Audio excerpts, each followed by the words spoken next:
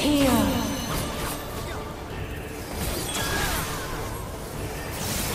The song of creation's end.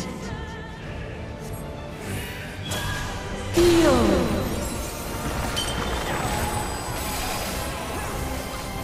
The sorrow at hope's demise. This can't end here. Think.